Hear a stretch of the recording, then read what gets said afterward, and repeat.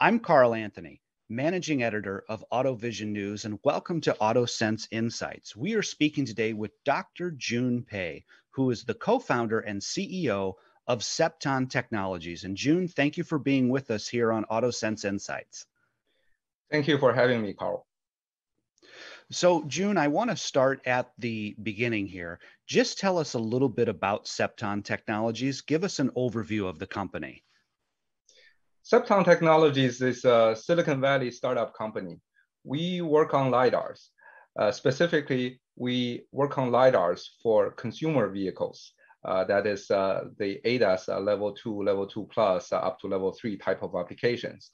We have invented a MMT technology. The MMT LiDAR is actually uh, the most suitable LiDAR for uh, level two plus type of deployment. And with that, we have won the largest design win in that sector.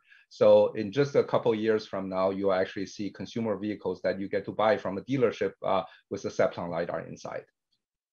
Of course. And so this is a natural transition into the, the very first question that I have for you, Jun, is that, you know, Cepton has been focused on the ADAS market and the LiDAR market since 2016. Why have you put your focus there the last five or six years? Yeah, you know, if you turn your clock back into five years ago, 2016, there was this huge bandwagon of uh, autonomous vehicles is right around the corner, 2018, 2019, it will be everywhere on the street. Well, perhaps I've been in engineering for so many years. Perhaps it's because of uh, my age. I'm over 50 now. Uh, that uh, I have a little bit more mature thinking. Uh, looking at the time, I didn't think uh, that autonomous vehicles, level four, level five vehicles, would be here anytime soon. Well, of course, sure. in hindsight, uh, that's a natural conclusion now. but when we started the the lidar company, Cepton uh, our focus is actually how to make a LiDAR device uh, that actually will actually promote safety. You know, first of all, is the safety for today's vehicle, and then you know, with the side benefit of additional autonomy. Uh, so that's where our focus is. We didn't really jump into the bandwagon. We just want to actually make a, a better and a safer car. So uh, that makes sense, Jun. And, and again, this is just a, a, really good transition into my next question here. So, talking about safer vehicles, and if you look at the SAE levels uh, of autonomy, what is LiDAR's role in ADAS and in particularly level two and, and level two plus systems? What is LiDAR's role there? Well, uh, people's uh, desire for additional level of safety is never ending. It's unlike, uh, you know, uh, you want to get your hands off the wheel, you get your eyes off the wheel. You know, the additional safety is uh, is a, everlasting uh, desire for every consumer. Once you have 90% safety, you want 99. Once you have 99, you want 99.9, and so on and so forth. So that drive is uh, never ending, regardless of the SAE level. And uh, LiDAR's role is actually providing this additional level of safety. It actually can measure physical distance between obstacles as well as uh, you know the uh, between lane markings and road signs as well as the uh, the free road boundaries. All of these uh, factors can be measured very accurately with LiDAR without any uh, limitation of light conditions. Uh, for example, your camera needs uh, you know good lighting for it to become uh, uh, reliable, and for radars, it doesn't have the the high angular resolution needed to distinguish whether a obstacle is in your lane or on the on the side of the road. These are the things. just like your eyes, your nose, and your ears. I'm actually a true believer. The suite of these sensors LiDAR, camera, and radar will actually coexist in the future of cars. There's, you know, if you ask yourself, can your ears replace your eyes uh, as a sensor for yourself? The answer is no. Uh, to some extent, yes, but it's not 100%. And same thing uh, for vehicles. Uh, when you talk about, uh, you know, 99 point additional nines of safety level, uh, absolutely, you need additional sensors, additional sensors of different modality uh, to get you an extra level of safety. That's where we see our role or LiDAR's role is not only in SAE level two, two plus, uh, but in all levels. It actually starts from there. Of course, the side benefit of autonomy just comes uh, along, uh, and uh, we can certainly talk about those in, in more detail. Of course. So, Jun, one of the things I think is always interesting to cover when we have an AutoSens conference is I, I always like to talk about customers that you have as a company. So tell us a little bit about Cepton's customers and tell us a little bit about the engagements that you have with uh, particularly OEMs and tier one suppliers. Yeah. So in terms of engagement, uh, you know, that word is used quite loosely in the industry. You know, you just have one email exchange. Uh, you can call that an engagement. Uh, and uh, with that uh, is you know, we're certainly very well engaged in the automobile industry, especially, you know, we have actual engagement programs uh, with uh, all of the top 10 OEMs by volume in the world.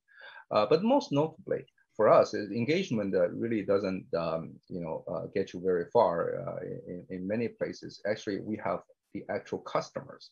It's the paying customers that will actually uh, tell you about your commercial success. And for us, uh, Technologies, as I mentioned on top of this uh, conversation, have won the largest design win in the ADAS industry. And uh, it is uh, a uh, one of the top uh, five OEMs in the world, Uh, Detroit-based OEM. Uh, and our LiDAR is actually sole sourced uh, for their multiple platforms and multiple vehicles models in the coming years. and you know, as again, uh, it will be in consumer cars, not uh, uh, some demonstration fleet. it will actually roll out of production line in 2023. So it is a program that we actually had the design win in December 20, 2019 over one and a half years ago. So, you know, throughout this process, we have delivered A samples, B samples, uh, C samples now, and well into uh, the volume production path. Uh, it's a very classical uh, design win uh, with together with our tier one partner Koito Manufacturing of Japan, uh, who is already a you know long-term supplier to this OEM, and together uh, we we will be bringing uh, lidar to this to the real world. So, Jun, I, I think one of the things now that we should definitely talk about is micro motion technology. And I think that's something our, our viewers will be keen to know about. So, let's start at the beginning there. What, what is micro motion technology and how does it make you different from other LiDAR companies on the market? Well, the, to start uh, with, uh, our company is different from many other technology companies in Silicon Valley uh, that we did not start with the invention of micro motion technology looking for an application. In fact, we had our focus of market, ADAS market, established well before we had any invention. And with that market, we came up with a set of requirements. Okay, now we want to make LiDAR for consumer vehicles. What are the requirements? It actually uh, became rather clear really quickly that we need the, what we call three pillars, performance, cost, and reliability.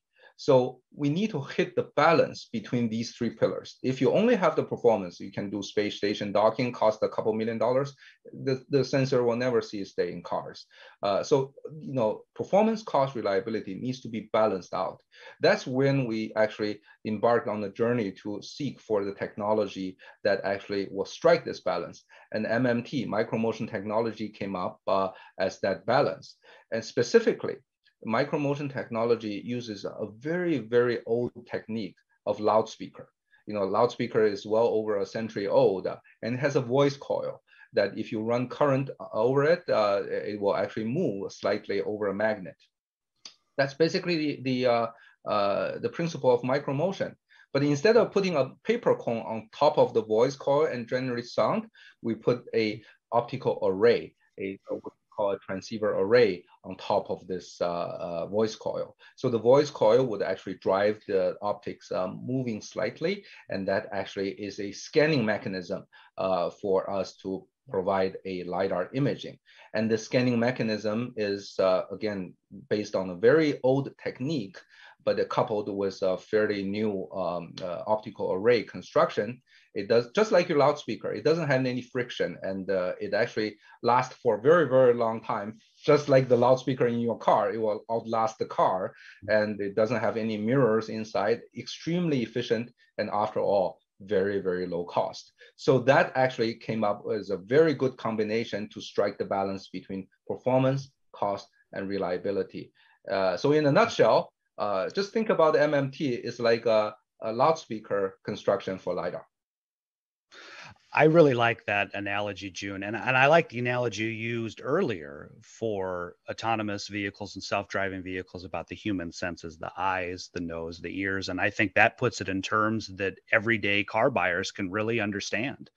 Yeah, I, I, I think uh, uh, that's how I view uh, the cars of the future is we'll have all these uh, suite of environmental sensors uh, uh, that elevated into a higher level of safety as well as autonomy. So we have spent Jun uh, uh, most of the time on this interview talking about automotive. Let's go outside of the automotive industry because there is more that Cepton Technologies does. You have other smart mobility solutions in other industries. So let's let's talk about those. Where else can you find Cepton Technologies, not just in automotive, but what are the other industries you're involved in? Yeah, uh, actually, uh, in all of the non-auto applications such as smart cities, smart spaces, uh, uh you actually see our footprint. Uh, I'll just raise an example for you. In the uh, Orlando International Airport, we had this one international terminal that proliferated with seven of our LiDARs, forming the entire space into a smart space. And that tracks people's motion, and that gives the operator the data to optimize the space utilization. And actually, uh, with the flip of a software switch, uh, uh you can actually monitor the social distancing between people in this days and age. Uh, it's actually quite useful. So that's a very much of a, a, practical and immediate application for LiDAR. It has the capability to accurately track people's position and provide the operators uh, with, with quality data. That's exciting, Jun. I, I had no idea that you had technology in the Orlando airport. I've, I've been to the Orlando airport, but it's it's it's been several years. So next time I'll have to go and keep an eye out for your technology. Yes. So Jun, uh, how can people get in contact with Cepton Technologies if they would like to learn more about your automotive applications or just your other smart mobility products? How can how can our viewers get in touch with Cepton Technologies? Well, first of all, I'm old-fashioned, so, so we are in Silicon Valley. Uh, you can always uh, uh, find us uh, in San Jose and drop by. Uh, but after all, it's uh, in this day and age. please visit our website. Our all of our contacts are there, and uh, get in touch with us. And then Jun, is there anything else that you would like to add bef- before we wrap up? Is there anything that I've missed? I know we've covered a lot. Is there anything you'd like to just overview? Just give us an overview of one more time. Anything, any final thoughts? Uh, yeah, thanks for this opportunity again. Uh, again, uh, for us, uh, Cepton Technology is a LiDAR company, and uh, we are actually working on uh, getting LiDAR into consumer cars. Uh, so hopefully one day we'll have LiDAR in everybody's car, perhaps without you even noticing where it is, but give you an additional level of safety and you're gonna drive at ease. So that's, I guess, what I get to say. Jun, I will look forward to going to the dealership one day and hopefully purchasing a car one day, hopefully sooner than later, purchasing a car with uh, with one of your lidars on it. Jun, I want to thank you for your time today. From all of us here at AutoSens, we want to wish you the best of luck going forward. Thank you so much, Carl. I appreciate this opportunity. We have been speaking with Dr. Jun Pei, the CEO and co founder of Cepton Technologies. For more great AutoSens content, visit our website or see our YouTube channel. Just search AutoSens.